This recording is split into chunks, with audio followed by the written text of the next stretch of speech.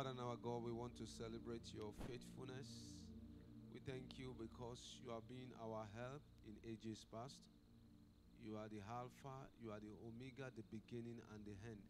We celebrate you this hour. Accept our thanks in Jesus' name.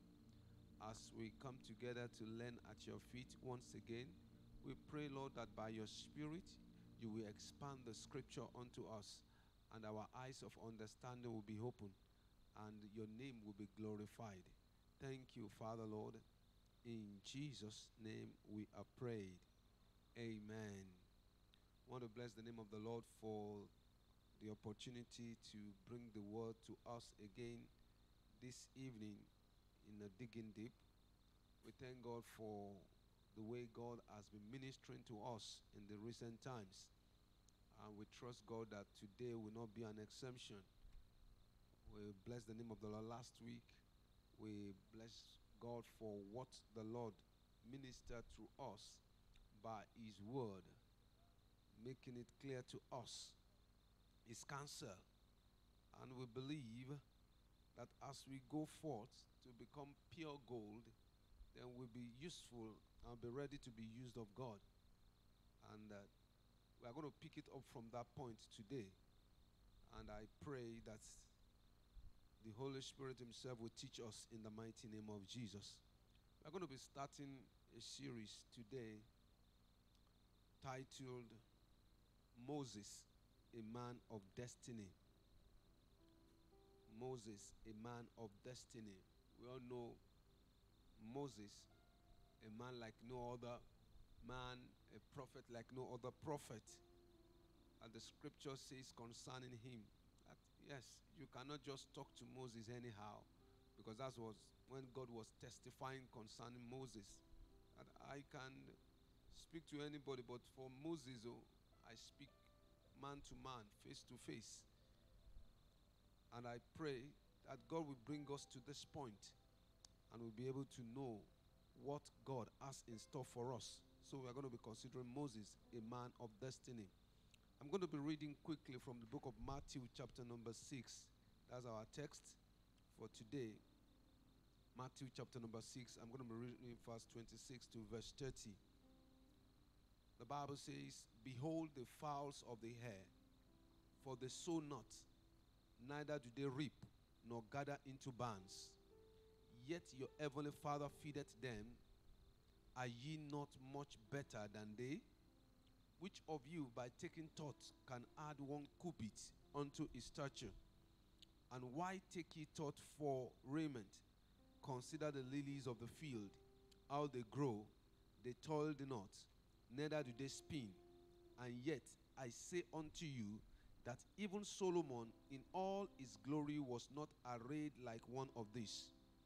Wherefore, if God so clothed the grass of the field, which today is and tomorrow is cast into the oven, shall he not much more clothe you, O ye of little faith? Brethren, looking at this scripture, I believe you are familiar with it, but we want to bring it home to us. As great as our God is, we expect Him to just be taking care of great things alone, big things. But no matter how small the issue is, God is always interested. Because the scripture make it clear here that as great as he is, he still watches over the fowls of the air and even the lilies in the field. And if God can come that low to watch over these, what we think they do not matter, that rise today and fall tomorrow, then consequently you should know that God has a plan for you and He has a plan for me. And we're going to be using Moses as a point of reference because we can see in the life of Moses that God had a plan for him, a long term plan that came to realization at a point in time. So, no matter who you are, no matter where you are presently, do not ever think that God does not have anything to do, or maybe God has abandoned you, or God has no interest in you, or that you are too little or insignificant in any form. No matter what people have called you, God has interest in you if He can take interest in the plant that is on the field and the birds that flies in the sky.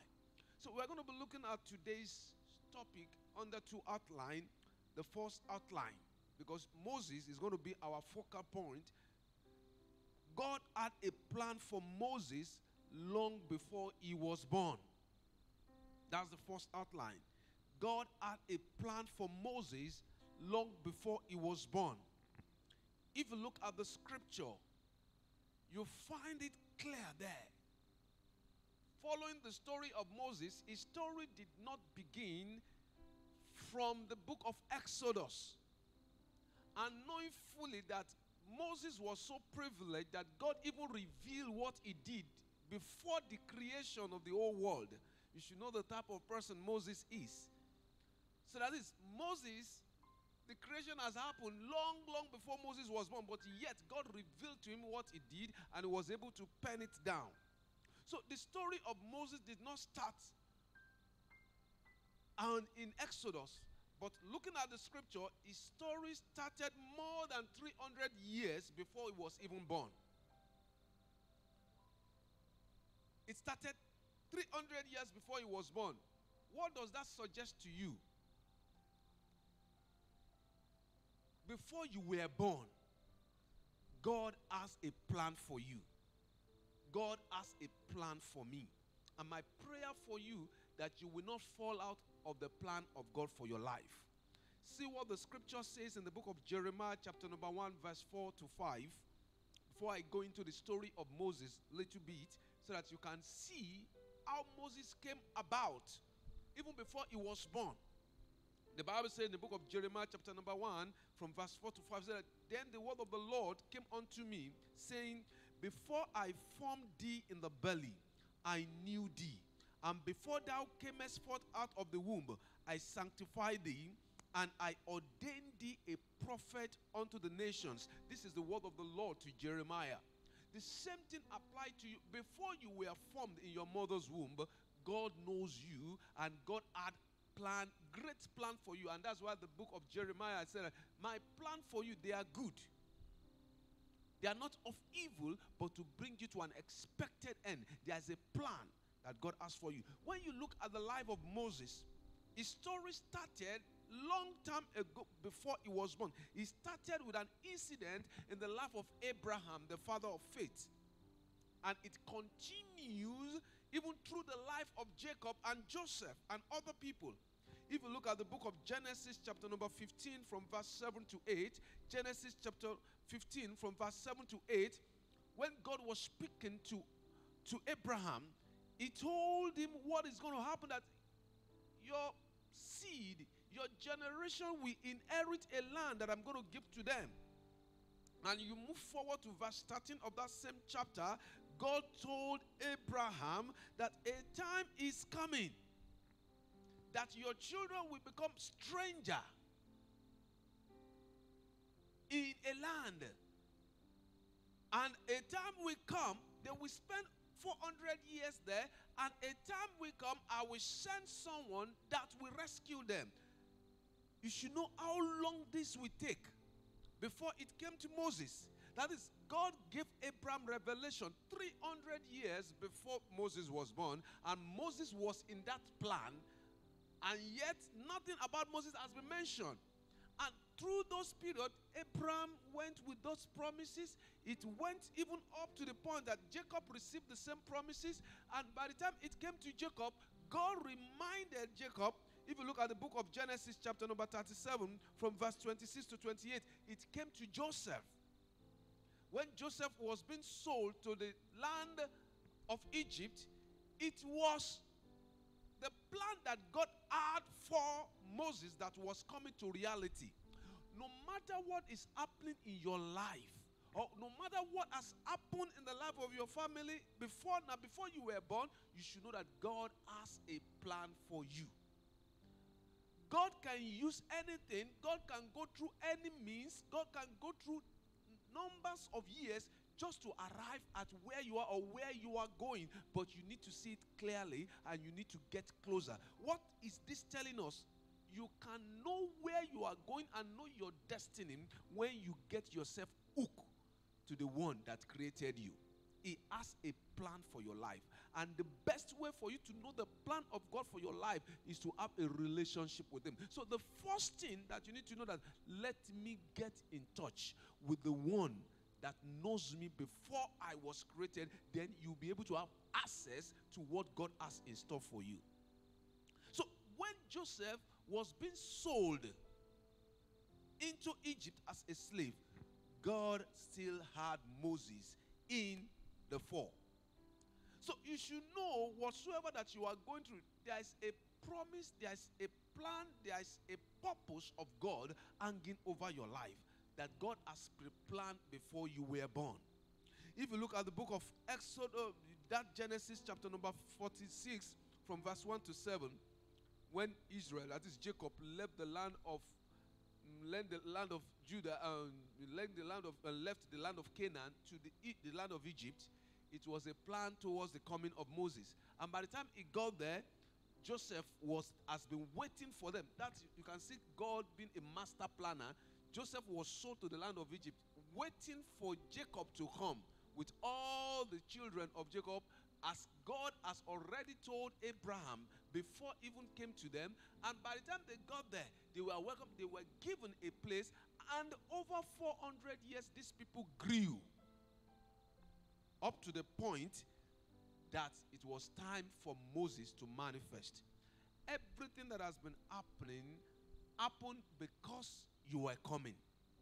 You have a destiny to fulfill. And I pray that you will not miss that destiny that God has designed for you in the mighty name of Jesus. So when you look at the story of just uh, of Moses from the time of Abraham even up to the time of Joseph, you will find out that no matter how good the plan of God for you, the devil will always surface at any point in time to distract you from that plan. And the devil will always look for a way to truncate the plan of God. Even before Moses was born, the devil surfaced and tried to truncate the plan of God for Moses. Let's see what the scripture says in the book of Exodus, chapter number 1, verse 8 to 12. Exodus chapter number 1, verse 8 to 12, the Bible says that now there arose up a new king over Egypt, which knew not Joseph. And he said unto his people, Behold, the people of the children of Israel are more and mightier than we. Come on, let us deal wisely with them, lest they multiply. And it come to pass that when there falleth out any war, they join also unto our enemies and fight against us. And so get them up out of the land. Therefore, they did set over them taskmaster to afflict them with their burdens, and there built for Pharaoh treasure cities, Pithom, Ramses. But the more they afflicted them, the more they multiplied and grew, and they were grieved because the children of because of the children of Israel. So, devil will always raise up his ugly head, but God is always a step ahead of the devil when it comes to the destiny of his own people. So devil raised up his own plan, but despite all the devil tried to do, the Bible said these people were growing.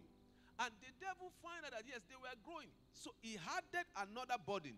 When you go to that same Exodus chapter number 1, verse 15 to 16, and you you read down, you find out that devil now planned to kill Moses before he was even born for you to be alive today or for you to be on the surface of the earth, God must have done a lot over your life. That's why you cannot take it for granted to be alive.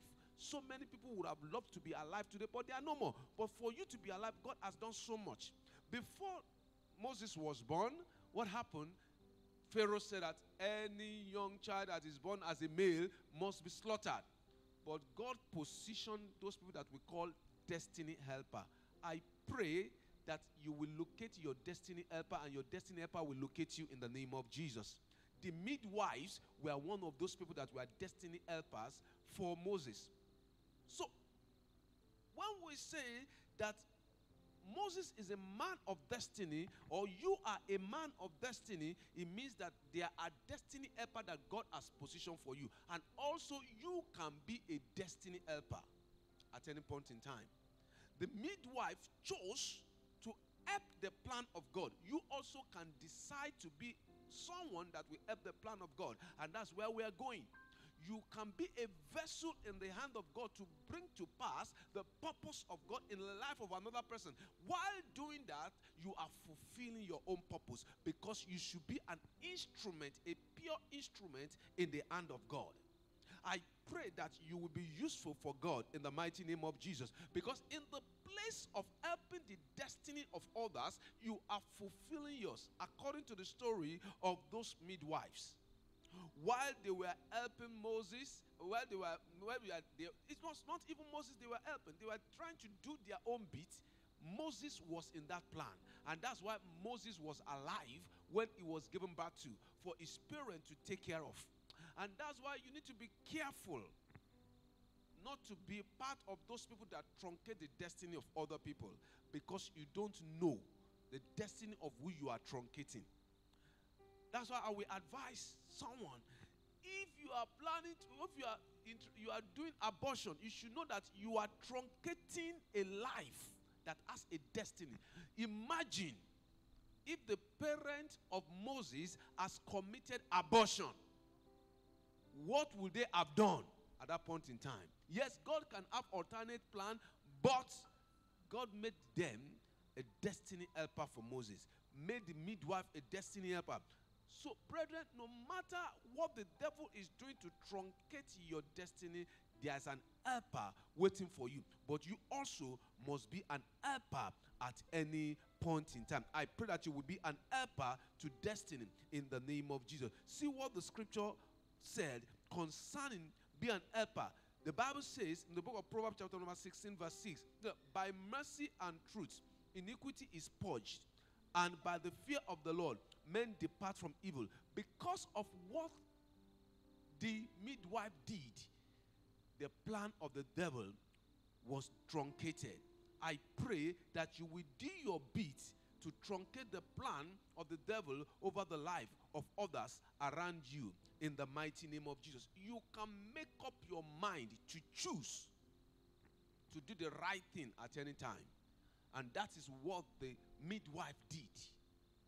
You look at the book of Daniel, chapter 3, verse 16. You see these three Hebrew men also.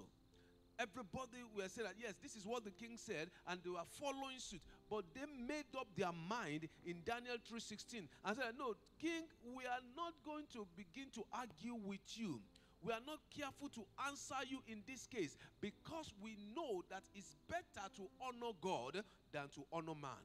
So when you are helping the destiny of other people, then you should know that you are honoring the maker and the one that can sustain destiny, and also you are helping your own destiny at any point in time. You can be a destiny helper. You can be a helper to someone that is falling at any point in time to bring the plan of God to fruition. And also, you should know, also, that's what the this as um, the apostles also were saying in the book of Acts of Apostles, chapter number 5, verse 29.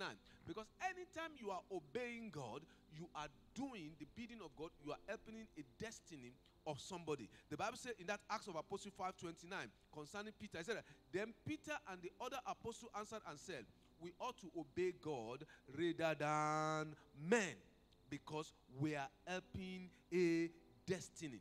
I pray that the Lord will make you a destiny helper. But in this, you should know that God had a plan for your life before you were born. And that plan is still there. But the only thing you can do to walk in that plan is to seek God. And when you find God, then you find the plan of God, then you find your destiny, and you can walk towards this destiny. No matter what a man is doing, if you are not walking in line with God, then you are putting, pulling down your destiny. The Bible says in the book of Psalm 127, verse 1, Psalm 127, verse 1, that except the Lord build the house, they labor in vain that build it. Except the Lord keep the city, the watchman waketh but in vain. You cannot pursue your destiny without the help of the one that gave you that destiny. God is interested in every step of your life.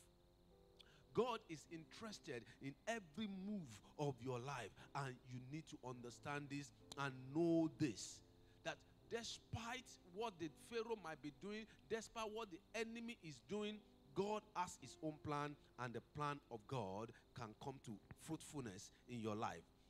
Let's go quickly to the second outline. The second outline said that God can use his enemies to achieve his purpose. When God is interested in you, like I know that is interested in you that you are hearing me at this moment, you should know that God can use anything because God has the power over every situation. He owns everything and he controls everything. Moses was born into the center of a tough battle between God and the devil. Pharaoh was saying that every son that is born must be killed. No son must survive. Just like what happened when Jesus was born, that Herod said they have to kill children from two years below. But God knows how to use his enemy to achieve his purpose. What did God did? You look at the scripture in that book of Exodus, chapter number 2, from verse 1 to 4, you find out that the family of Moses, after they gave him back to Moses, they kept him for some time, but they could not keep him further. And when you get to from verse 5 to 10, what did they do? They said, let's just, at least we have done our part to preserve this. To preserve this boy, we can no longer preserve him again. Knowing fully that God has a plan, and they have been working and cooperating with God. They let him go, they put him in a basket, and he was going. But God, that works in mysterious ways, raised up the daughter of the arch enemy. I pray as you go through this journey of life, everyone that you come in contact with, no matter what they think about you, they may not like you.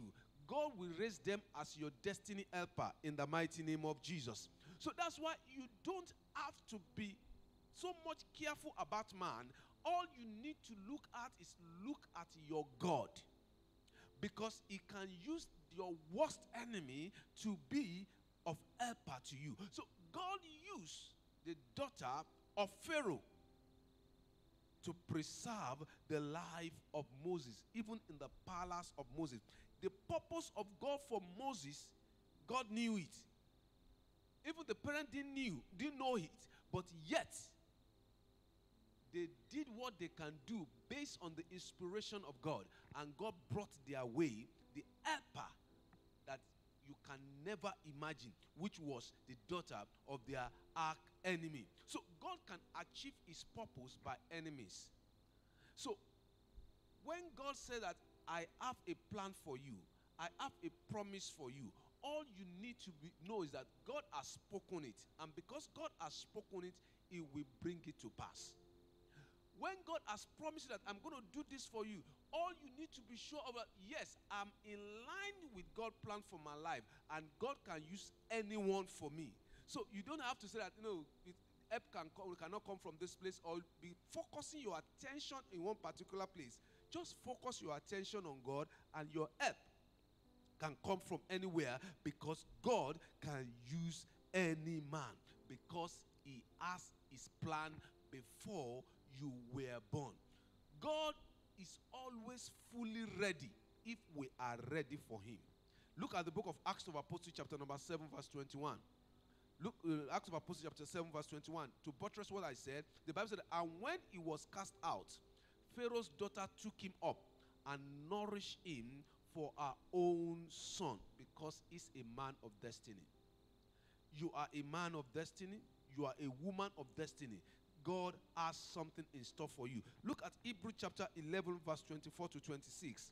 Hebrew 11, 24 to 26. The Bible said that by faith, Moses, when he was come to years, refused to be called the sons of Pharaoh's daughter, choosing rather to suffer affliction with the people of God than to enjoy the pleasure of sin for a season, esteeming the reproach of Christ greater riches than the treasures in Egypt, for he had respect under the recompense of the world. What is the scripture telling us here? When God has used anyone for you, it might be your enemy, it might be enemy. That is not an indication for you to go and join them. Because some of us, we are too loose to the extent that the moment we see help from somebody, that person becomes our God. Under no circumstances must you abandon the God that gave you that help to look up to man.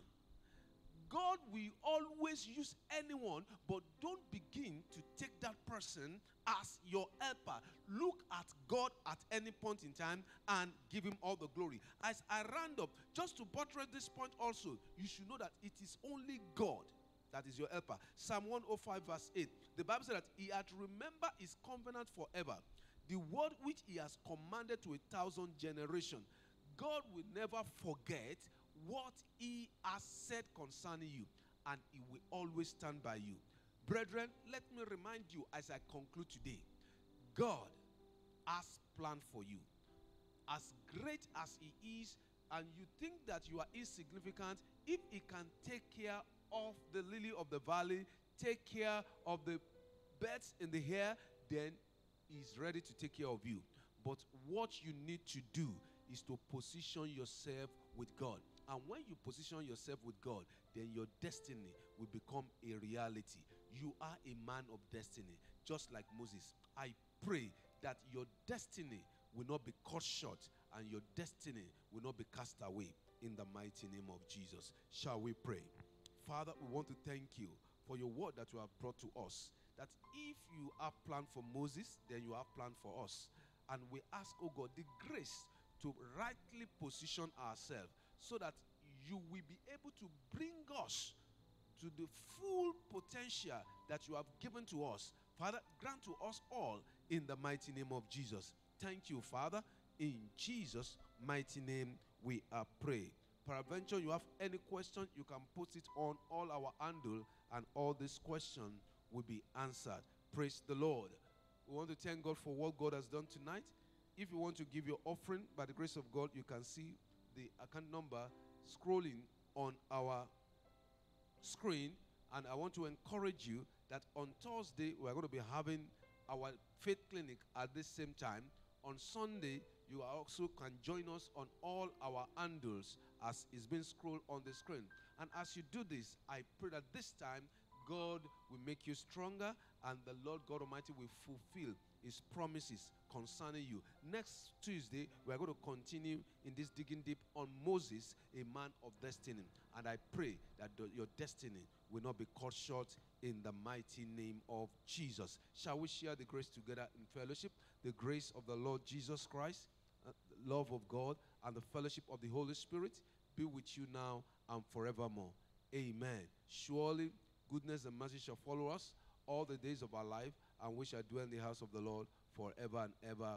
Amen. Shalom.